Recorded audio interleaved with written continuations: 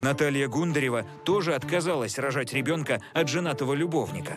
У актрисы всегда была бурная личная жизнь. В нее влюблялись моментально, достаточно было одного взгляда. Актриса всегда мечтала стать матерью.